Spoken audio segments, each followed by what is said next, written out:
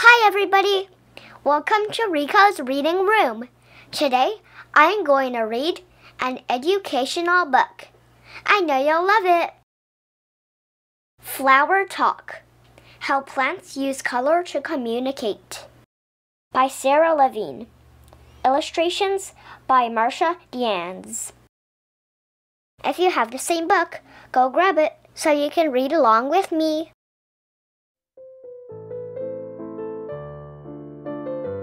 Hey, you!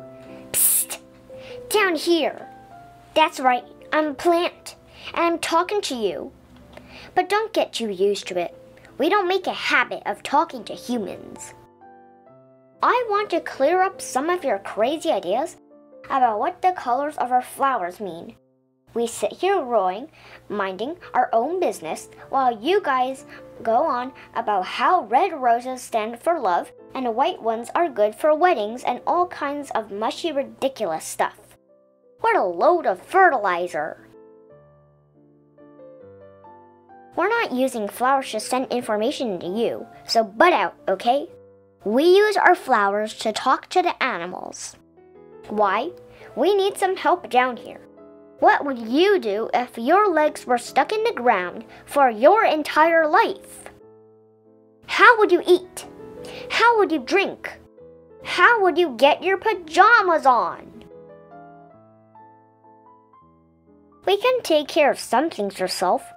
We get our food with help from the sun, and when it rains, our roots slurp up water. But we need help making our seeds, our babies. What's more important than that? Without seeds, there'd be no more plants. We'd be finished. Kaput! To make a seed, we need pollen from a different plant of our same type. How do we get that? We can't just waltz over and take some. That's why we need animals. Here's what we do we trick them into carrying it for us. We're nice about it, though, we pay them a little something for their efforts. Well, usually. How do we get them to help? We advertise. We hold up big signs. Our flowers are the signs. They say, Come on over. We have a special treat for you. And believe me, they come. Who wouldn't? Especially if they're hungry. If we're in luck, they bring along some pollen from a flower they visited earlier. Do they know they're doing this? Who knows? And who cares? It works and everyone's happy. So, what's the deal with colors? A flower's color invites specific animals to visit. You seem like a bright kid, so I'm going to let you in on the conversation. Then maybe you could let me do a favor and tell the other humans about it, okay? Red flowers are usually talking to birds. The red flower's message is a top secret one, for birds only. Most other pollinators are insects, and they can't see the color red. A red flower says, Hey hummingbird, over here, carry my pollen, and I'll give you a sip of nectar. By the way, red flowers don't have much of an odor. Birds have a horrible sense of smell, so why bother making perfume for them? Blue and purple flowers talk to bees. Bees need flower pollen to feed their babies. They have special pockets on their legs to carry it home to their young. But some pollen always gets stuck on their bodies and passed to the next flowers they visit. Blue and purple flowers are saying, Yo, bee! Could you help me move some of this pollen and take some home for the kids? See, we can be thoughtful too. Yellow flowers are also talking to bees. Bees are our top helpers. I heard that scientists just figured out that bees have three favorite colors blue, purple, and yellow. Took you guys long enough.